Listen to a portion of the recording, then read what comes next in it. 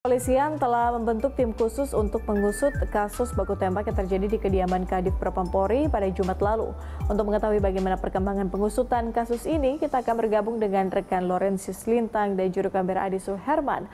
Langsung dari Mabes Polri, Jakarta Selatan. Selamat siang Loren, adakah update perkembangan kasus baku tembak yang kemudian terjadi pada Jumat lalu? Ada fakta-fakta baru mungkin yang sudah uh, terungkap?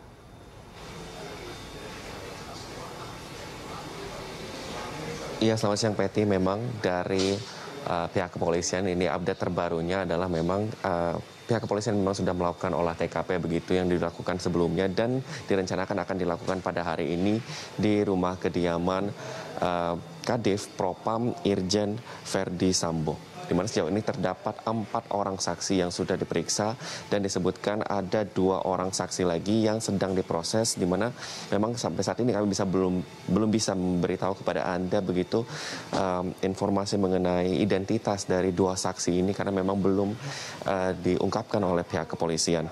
Terdapat juga beberapa barang bukti yang memang sudah uh, didapatkan dari hasil olah TKP sebelumnya, di mana antara lain adalah senjata, selongsong, serta um, proyektil peluru namun tentu uh, barang bukti CCTV ini memang um, sudah dipastikan tidak dapat diterima dari hasil olah TKP ini. Karena memang dari informasi yang kami dapatkan CCTV yang terdapat di rumah dinas uh, Kadif Propam uh, Polri ini memang sudah mati sejak dua minggu yang lalu. Jadi memang uh, sudah bisa dipastikan bahwa CCTV tidak dapat digunakan sebagai barang bukti begitu. Selain itu juga pihak kepolisian juga telah membentuk tim khusus untuk mengungkapkan fakta terkait dengan penembakan antar kedua polisi ini, di mana ini langsung diketuai oleh Wakapolri Komjen Gatot Edi Pramono di mana kami bisa menginformasikan kepada Anda juga dari hasil otopsi sementara. Ini disebutkan bahwa Brigadir J ini tewas akibat dari baku uh, tembak begitu antara Brigadir J dengan uh, Barada E di mana terdapat tujuh luka tembakan masuk dan enam luka tembak keluar. Dan satu um, proyektil begitu yang bersarang di dada Brigadir J. Terdapat lima peluru begitu yang sudah ditembakkan oleh uh, Barada E dan terdapat tujuh peluru yang ditembakkan oleh uh, Maksud kami terdapat lima peluru yang ditembakkan oleh Barada E dan terdapat tujuh peluru yang ditembakkan oleh Brigadir J.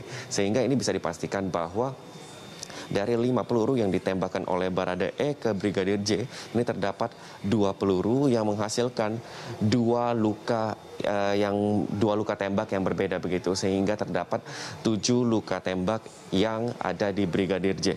Untuk diketahui memang Barada E sendiri ini merupakan personil yang um, ditugaskan begitu untuk menjaga ataupun uh, keluarga Irjen Verdi Sambo sedangkan untuk Brigadir J sendiri ini memang merupakan personil yang ditugaskan begitu untuk menjadi supir dari istri dari Kadif Propam. Untuk uh, kami juga bisa uh, menyampaikan kepada Anda untuk kronologisnya sendiri.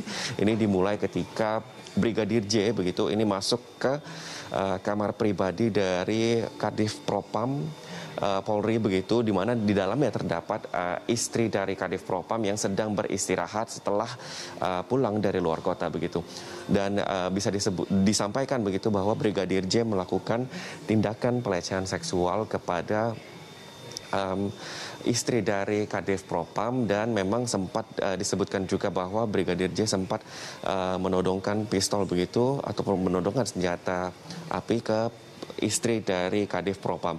Sehingga uh, reaksi yang ditimbulkan adalah istri dari Kadif Propam akhirnya berteriak dan karena panik Brigadir J akhirnya keluar dari kamar dan bertemu dengan Barada E yang menanyakan uh, uh, terjadi apa begitu dengan istri dari Kadif Propam sehingga akhirnya terjadilah aksi uh, baku tembak antara kedua uh, personel Polri ini.